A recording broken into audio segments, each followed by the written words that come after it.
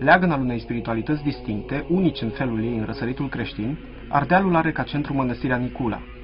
Aceasta se află azi în plină prefacere și reconstrucție, pregătindu-se să-și păstreze centralitatea și în mileniul proaspăt început. Ca în orice mănăstire din Ardeal, tradiția veche nu este uitată, dovadă stând bisericuța veche de lemn a mănăstirii. Retras la marginea acesteia, cimitirul oferă mărturia prezenței aici a unei obști vrednice, căreia s-au adăugat cărturari veniți să se odihnească la umbra turlelor biserici. Mănăstirea Nicula exprimă cel mai bine structura religioasă a oamenilor locului. Simpli, așezați cu minți în tradiție, călugării de aici păstrează semnătatea marilor duhovnici, ce odinioară pictau icoane, își îngrijau mănăstirea și se rugau în permanență.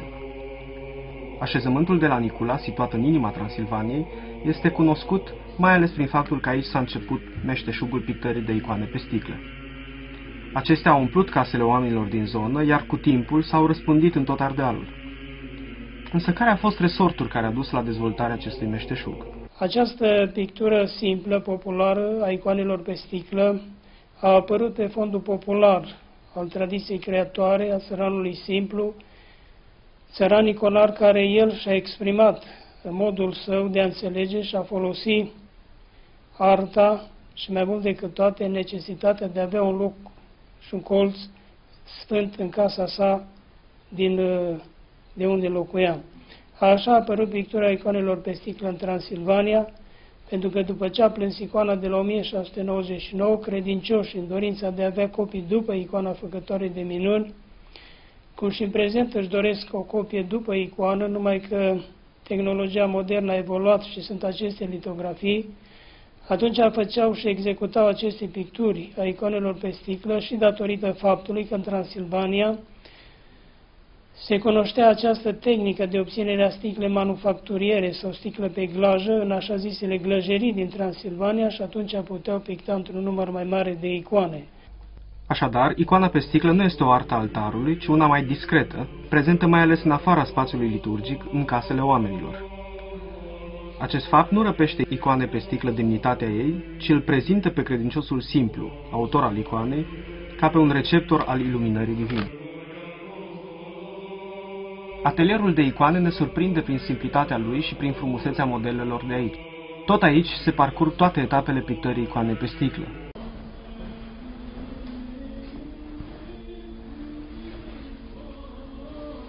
Ce am ales un izvod, o icoană veche, uh, de pe care să scoatem un izvod cu foaie de calc.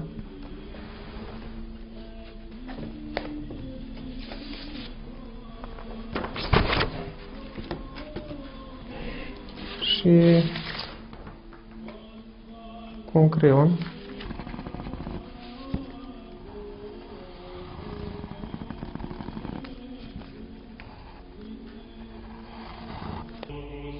Izvodul sau tiparul pe care iconograful îl folosește pentru a copia icoana este elementul care asigură păstrarea tradiției icoanei.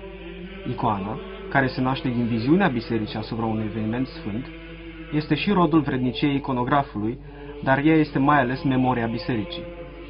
În acest sens, iconograful preia structura icoanei, se asigură că duce mai departe ceea ce iconografii vechi i-au lăsat ca moștenire.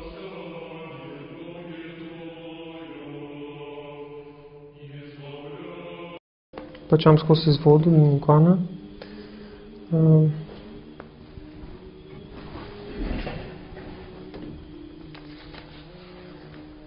îl așezăm în spatele sticlei.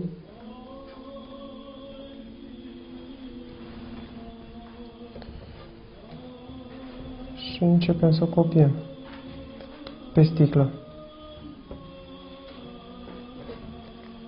Desenul pe care l-am obținut prin uh, izvodul pe care l-am obținut copiind de pe icoană trebuie inversat, pentru că se lucrează pe spatele sticlei și de fapt fața o să fie uh, în partea cealaltă.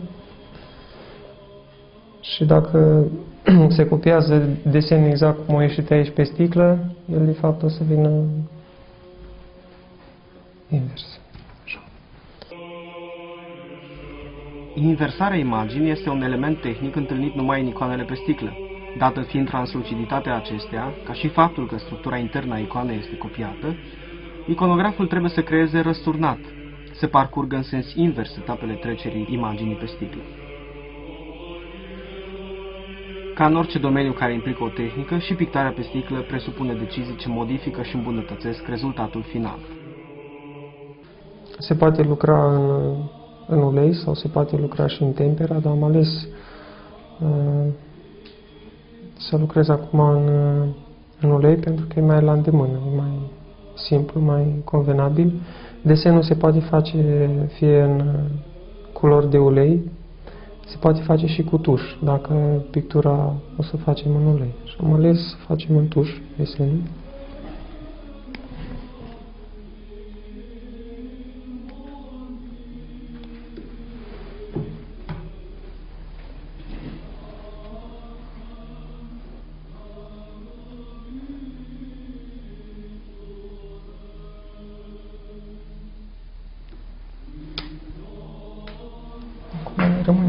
Rămâne doar să copiem cât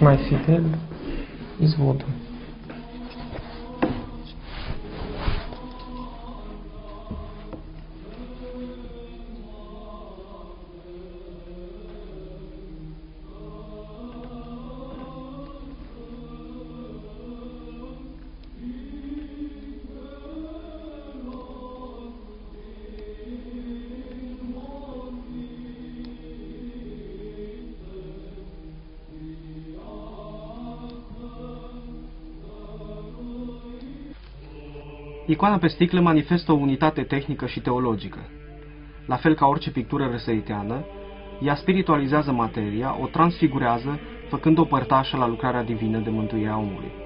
Liniile fine, marcate de suplețe și discreție, lipsa detaliilor și a formelor pline, rezumă fără să epuizeze trăsăturile și calitățile personajelor sfinte. Chiar și atunci când pare naivă sau simplistă, Icoana pe sticlă ascunde, sub chipul viei, al naturii care participă la nașterea Domnului sau la răstignire, taina mântuirii omului. Transfigurat și îndreptat, omul apare în icoana pe sticlă ca om îndumnezeit, astfel că iconograful se dovedește a fi receptorul și transmițătorul energiei divine lucrătoare în om. După ce desenul se usucă, se pun umbrele, se face umbrirea icoanei,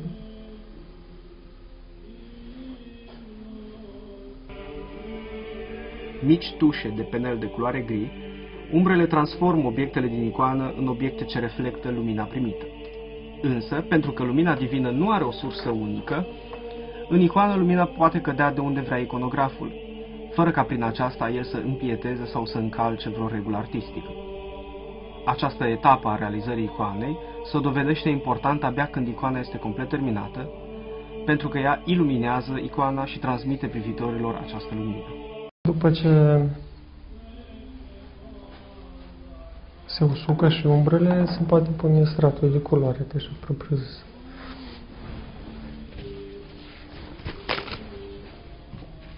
Ca să obținem o unitate cromatică,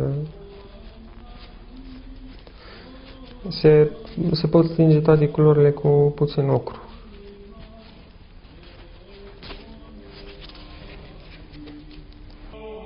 Culoarea, elementul final al icoanei, este cel care o valorizează și o desăvârșește.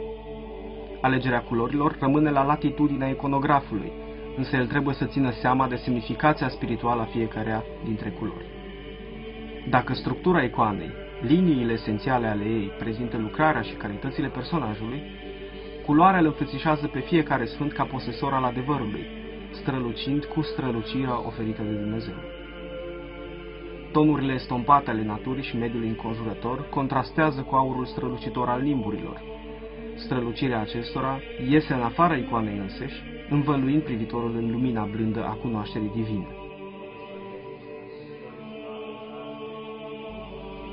Icoana pe sticlă a rezistat de-a lungul secolelor prin munca și talentul a generații de iconografi. Viitorul ei stă în mâinile celor care îl slujesc pe Dumnezeu zi de zi. Mănăstirea Nicula păstrează cu sfințenie tradiția pictării icoanelor pe sticlă, datorită faptului că aici s-a născut uh, această, această îndeletnicire, uh, pentru că, după cum uh, știți, icoana de la Nicula a plâns o perioadă de o lună de zile, iar oamenii, în dorința de a avea o copie a icoanei, au găsit acest meșteșug. Întâi călugării și după aceea întreg satul. Dar, în ceea ce ne privește, am pus accent în ultima vreme mai mult pe icoana bizantină pe lemn, datorită faptului că icoana pe lemn, icoana bizantină este icoana uh, autentică și icoana care, uh, care predispune spre rugăciune pe omul credincios. Icoana pe sticlă este, este uh, o icoană care are valoare artistică, este, care are valoare istorică, dar uh, nu este o icoană de cult.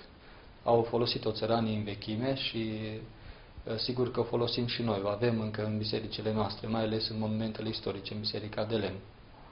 Dar, după cum ați observat, la Mănăstirea Nicula se construiește o biserică nouă, de aceea părinții uh, mănăstirii care sunt pictori se pregătesc în perspectiva pictării acestei biserici în stil bizantin păstrată ca relivă a unei spiritualități care n-a considerat că îi se răpește ceva icoanei prin faptul că este pictată pe sticlă, acest tip de icoană este descoperitoare a adevărului creștin. Prin lucrarea celor mai discreți și mai prietenoși slujitori ai lui Dumnezeu, ne vom bucura și în viitor de prezența icoanei pe sticlă, acest martor tăcut al unei spiritualități rurale, ce dispare azi și prin indiferența noastră. Doar călugării rămân fideli ei, pentru că monahismul este memoria vie a bisericii. Noi încercăm să păstrăm, să ducem mai departe acest gen de pictură, pictură care reprezintă sfinți mai cunoscuți din viața spirituală și scenele mai importante din viața Mântuitorului Iisus Hristos și încercăm să facem și noi copii fidele prin atelierul care l-am deschis, să ducem mai departe această tradiție creatoare